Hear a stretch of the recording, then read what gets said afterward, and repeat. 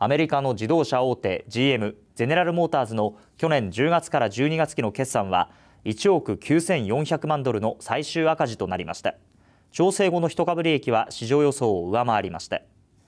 アメリカの工場で発生した大規模ストライキにより利益が26億ドル押し下げられたほか中国での新車販売も1年前と比べて13.4%減少しました。